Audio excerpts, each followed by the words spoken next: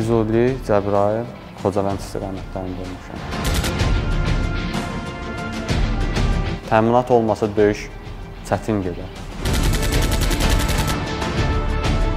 Saat yarımlıq yolumuz 7 saata başa gəlirdi. Dumanlı olurdu yol, orada bizi vura bilmirdilər.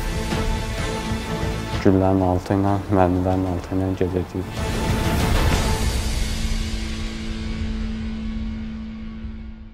Generalımız şəhid düşəndən sonra mən özüm də müraciət eləmişdim voyenkomata. Sentyabrın 27-si də elə qismət oldu Şuşalda, döyüşlərdə iştirak elədik. Təminat tağımında olmuşam mən. Döyüşən əsgərlərə təminat aparırdıq. Belə Füzuli, Cəbrayıl, Xocavənd istiqamətlərində döyüşlərdə iştirak elədim. Hər şeyini təmin edirdik də, yeməklərini, içməklərini, e, silah, sursat, hamısını biz təmin edirdik. E, bir, bir, bir yerə kimi maşınla gedirdik. Ondan sonra 10 kilometr, 15 kilometr piyada güllərin altı ilə, mərmilərin altı ilə gedirdik. Dumanlı olurdu yol, orada bizi vura bilmirdilər. Amma günorta ücə artıq görürdülər bizi. Onda ücə biz e, təxminən saat yarımlıq yolumuz 7 saata başa gəlirdi getməyimiz, gəlməyimiz beləncə. Bizim borcumuz idi onu eləmək. Bir vətəndaş kimi, bir insan kimi, bir yoldaş kimi borcumuz idi o işi görmək. Əlimizdən gəldiyi qədərinə də o işin arxasıca gedirdik. Şuralarda ki, yanımızda olan yoldaşlarımız e, belə deyək, qorxaq deyildi, çəkinən deyildi. Hamı bir-birinə kömək eləyərlə, yolda qoymaya qoymaya. Füzuli istiqamətində hardasa 20-25 e, kilometr yolu piyada getmişdik. Həmin istiqamətdə də bizi çox güllə borana tutdular. Getdik, hətta orada Yolda bir şəhidimiz də var idi. Allah rəhmət eləsin.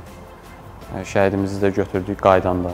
Əsas odur ki, dostlarımız, yaxınlarımız, orada olan yoldaşlar qoyub qaçmırdılar. Ya demirdi ki, hə, məsələn, mən yorulmuşam. Hamı canla, başla kömək edirdi, bir-birinə yoldaşlıq edirdi, gətirirdi. Bizə rabitə ilə əlaqəyə keçirdilər ki, məsəl üçün, bu qədər filan silahdan lazımdır, bu qədər mərmi lazımdır, yemək lazımdır. Biz gün ərzində onları iki dəfə, bir səhər, bir də günorta.